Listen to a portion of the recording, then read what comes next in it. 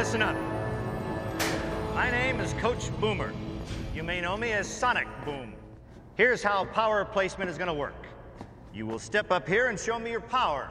And yes, you will do so in front of the entire class.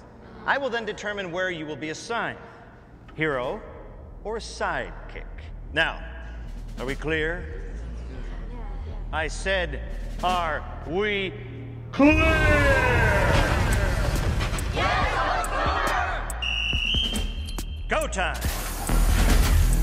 You. Get up here. I'm gonna put some dirt in your eye.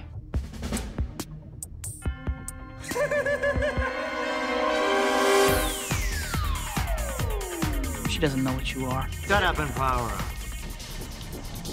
Now take all this.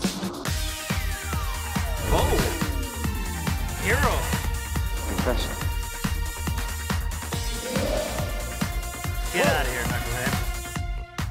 Oh, let's go.